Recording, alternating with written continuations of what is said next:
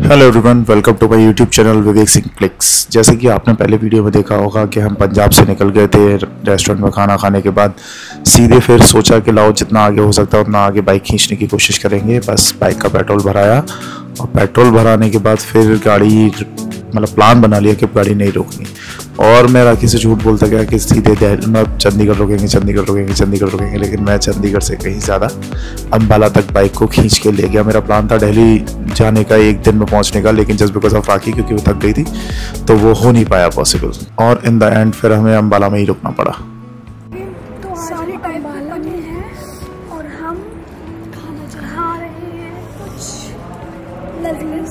पनीर पनीर दो प्याजा विवेक खाना कैसा है? लजीज। हमने पूरी टेबल घेर रखी है। मेरे पति को बस खाना बहुत अच्छा है। हम दोनों पालसी मार के बैठे हैं पूरा प्रॉपर ऐसा लगता है शायद नींबू की खुशबू से धस कर पालसी मार के बैठे हैं बस। आज हम पूरा प्रॉपर खाएँगे। So let's taste the food okay bye hello everyone बालों की रेड मर चुकी है तो प्लीज़ बालों को इग्नोर करना। हालत बहुत ज़्यादा ख़राब है। अभी हम हैं ले बस अभी हम हैं अम्बाला सिटी रात को करीब नौ बज गए थे समथिंग समथिंग एक्चुअली यहाँ से बीस, पच्चीस किलोमीटर दूर एक और जगह है। मुझे एग्जैक्टली उसका नाम याद नहीं, वहाँ पे हमने होटल्स वगैरह काफ़ी तलाश है लेकिन ढंग का ठीक सा होटल दिखा नहीं हमको। और दो ही होटल थे वहाँ पे तो दोनों ही मतलब बेकार थे। फिर हम लोग तीस किलोमीटर आगे और अम्बाला सिटी आ गए साढ़े नौ बजे करीब रात को साढ़े नौ समथिंग हो गए थे। तो यहाँ एक अच्छा सा डिसेंट सा अच्छा एक होटल देखा। लेट मी शो यू अभी बैंड बजी हुई है बैठ की तो ज़्यादा मत सोचना।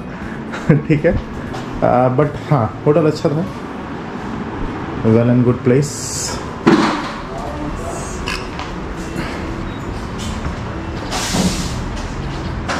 ये रूम था हमारा।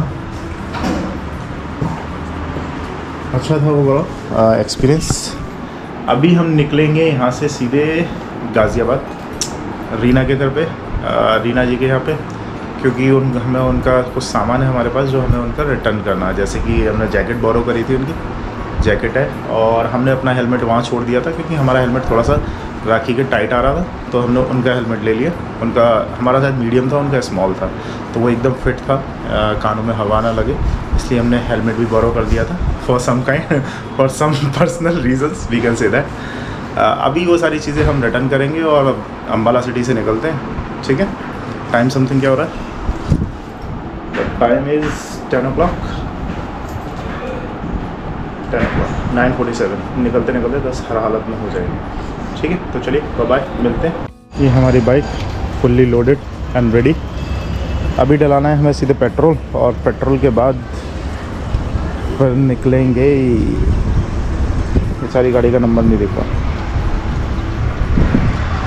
यहाँ पे शायद अम्बाला एयरबेस है आर्मी का एयरफोर्स का।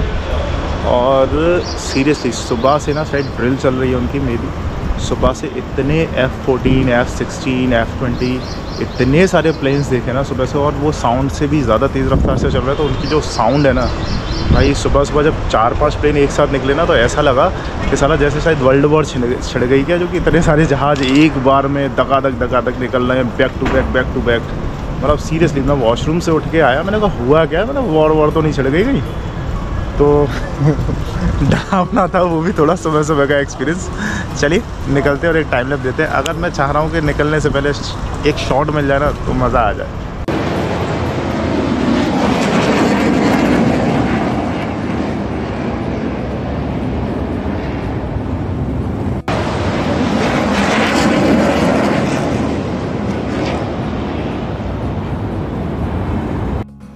अम्बाला से निकलने के बाद सीरियसली जो मंजर देखने को मिला ना मतलब क्या ही कहूँ मैं अपने आप में शॉकिंग था ये मंज़र। उसकी वजह ये थी कि ये सभी लोग किसान हैं।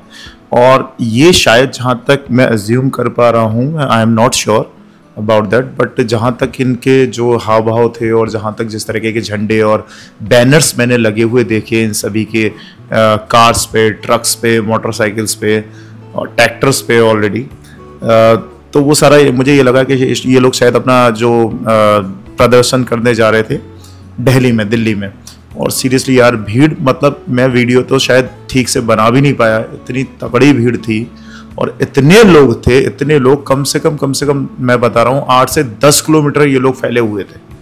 कम से कम दस किलोमीटर लंबे मतलब एरिया में ये लोग फैले हुए थे कि दस बीस गाड़ी इधर चल रही हैं, फिर सौ दो सौ मीटर आगे दस बीस पचास गाड़ियाँ चल रही हैं, फिर थोड़ी आगे दस बीस पचास गाड़ियाँ चल रही हैं। सीरियसली यार मतलब क्या ही कहूँ मैं।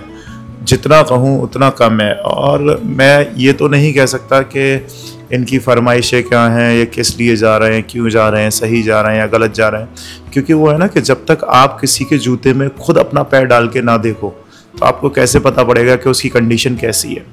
बस दूर से खड़े होके किसी के बारे में राय बना लेना कि वो इस वजह से ये ऐसा कर रहे हैं या वो इस वजह से ऐसा कर रहा है। पॉसिबल नहीं है। मतलब और मुझे लगता है कि ऐसा करना भी नहीं चाहिए। क्योंकि आपको क्या पता कि उसकी कंडीशंस क्या हैं? आपको क्या पता कि उसकी डिमांड क्या है? आपको क्या पता वो किस परेशानी में फंसा हुआ है? और किस वजह से वो ऐसे डिसीज़न ले रहा है? फॉर एग्ज़ाम्पल हमें चोर चोर लगता है। लेकिन ज़रूरी नहीं है कि वो चोर नशा करके ही चोरी कर रहा हो, शौक के लिए कर रहा हो। हो सकता है वो बच्चा कई दिन से बेचारा भूखा हो, मजबूरन चोरी कर रहा है। क्या पता उसके हालात बहुत ज़्यादा ख़राब हो। तो मेरा अपना मानना यह है कि जब तक आप किसी भी चीज़ को ठीक से देख लें, परख लें और दोनों पक्षों की बात सुन और समझ ना लें, तब तक किसी के बारे में कोई राय नहीं बनानी चाहिए। फाइनली वहाँ से निकल के हम मुरान नगर से निकल के दिल्ली की तरफ़ आ गए थे। और सॉरी अम्बाला से निकल के हम दिल्ली की तरफ़ आ गए तो ये बीच रास्ते में हमें ये शायद सिग्नेचर ब्रिज है और इतना प्यारा लगा, मुझे लगा कि लाओ इसकी वीडियो एक छोटा सा शॉर्ट में मतलब रिकॉर्ड करते हैं, थोड़ा सा स्लो मोशन करके। फिर मुराद नगर पहुँचे। मुराद नगर में जो रीना का जो भी हमने सामान ले रखा था बेसिक बेसिकली हेलमेट था और शायद जैकेट थी तो वो दोनों चीज़ें हमने रिटर्न करी। हेलमेट एक्सचेंज करना था, जो हमारा हेलमेट था वो हमें लेना था। और वहाँ से बस थोड़ा सा नाश्ता किया, थोड़ी देर रुके, क्योंकि हमारा प्लान ये था कि कैसे भी करके आज रात को घर पहुँचना है। तो इस वजह से उन सारी बातों को ध्यान रख के रीना के घर हमने बहुत ज़्यादा टाइम नहीं लगाया। जितना हो सकता था बेस्ट पॉसिबल कम से कम टाइम मतलब वहाँ पे हमने स्पेंड किया। हालाँकि मन बहुत था क्योंकि एक लंबे वक्त बाद रीना से दोबारा मुलाकात हुई मेरी। और अनफॉर्चुनेटली uh, जो उनके हस्बैंड हैं अंकुर जी वो वहाँ नहीं थे लेकिन उनसे मिलने का बहुत मन था। और अनफॉर्चुनेट कहें या फिर ठीक है, नसीब कहें कि नहीं हो पाई मुलाकात। दोनों बार नहीं हो पाई, जब गए थे तब भी और जब वापस आए तब भी, क्योंकि वो ड्यूटी थे। और इत्तेफाक से हमारा जो डे पड़ा, वो बिल्कुल जो ना मतलब संडे वाला दिन पड़ा ही नहीं। वीक डेज़ पे हम थे। ठीक है, क्या कर सकते हैं? कभी कभी ऐसा होता है कि आप जो सोचते हो ज़रूरी नहीं है, वो हो जाए।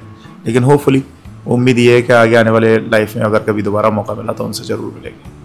फिर फिर क्या था? फाइनली अंधाधुंध बाइक चलाने के बाद, और जितना बेस्ट पॉसिबल हो सकता था, अपने आप को, अपनी स्ट्रेंथ को, अपने ड्राइविंग स्किल्स को एज मतलब कहना चाहिए कि अपनी पीक लेवल तक ले जाने के बाद बाइक को खींचने के बाद, पूरा ट्रिप करने के बाद, मैं कह सकता हूँ कि पूरा अलीगढ़ से लेह और लेह से अलीगढ़ का पूरा ट्रिप करने के बाद, जो सुकून मिला ना, वो मतलब एक नेक्स्ट लेवल था, उसको डिफाइन नहीं किया जा सकता।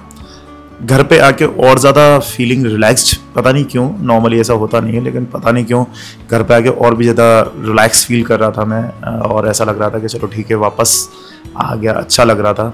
फिर क्या था, जैसे तैसे घर पहुँचे, और घर पहुँच के सीधे फिर अब जो मेन काम था ना, जिसके लिए, क्योंकि हाथ पैर इतने पेन कर रहे थे, पंद्रह दिन का ट्रिप बारह बारह दिन लगे थे शायद, और हाथ पैर इतने पेन कर रहे थे कि अब बस ये लग रहा था कि कैसे भी करके बेड मिल जाए, और वो भी घर का बेड क्योंकि आप चाहे जितने अच्छे होटल्स में रहा हो, चाहे जैसी भी कंडीशंस में रहा हो, अच्छी, बुरी, लेकिन जो घर का बेड है ना, भले ही वो टूटा हुआ हो, भले ही वो गीला हो, भले ही मतलब उसमें वो सौ सुविधाएँ ना हो जो आपको होटल्स में मिलती हैं। लेकिन फिर भी जो घर पे नींद आती है ना, वो मुझे नहीं लगता कहीं आ सकती है। बस छोटे वाले भाई की थोड़ी सी हेल्प ली, उससे बोला कि यार प्लीज़ थोड़ा सा अनलोड करा, सारे सामान को मैं सारा खोल रहा हूँ। और तू इसे सारे सामान को ले जाके प्लीज़ कैसे भी करके रूम में रख दे। बाकी का जो होगा, वो कल की कल देखूँगा। आज भाड़ में जाने दे, बस रख दे कैसे भी तो इस सामान को। और इस आखिरी वीडियो के साथ हमारा लेह का सफ़र ही समाप्त हो गया है। होपफुली मैं उम्मीद करता हूँ कि आप सभी ने हमारी वीडियो बड़े सुकून से, बड़े खुशी से देखी होंगी। और सीरियसली मैं अपने तहे दिल से, मैं आपको बता नहीं सकता कि मैं अपने दिल की किस गहराई से आपको धन्यवाद दे रहा हूँ। सीरियसली अगर आप सभी ने मेरी सारी वीडियोस देखी देखी हमारी सारी वीडियोस को एंजॉय किया thank you thank you thank you very much for being a part of our life or our videos also thank you so much, all of you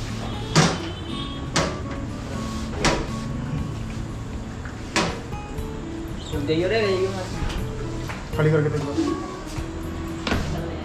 ए, रुक जा चलो है मार दो डबल स्टैंड आगे लाइट देखना बस Head north toward Aligarh, Kanpur, Aligarh, Secunderabad Road, then turn left onto Aligarh, Kanpur Road. Kanpur road आगे कानपुर रोड में आजा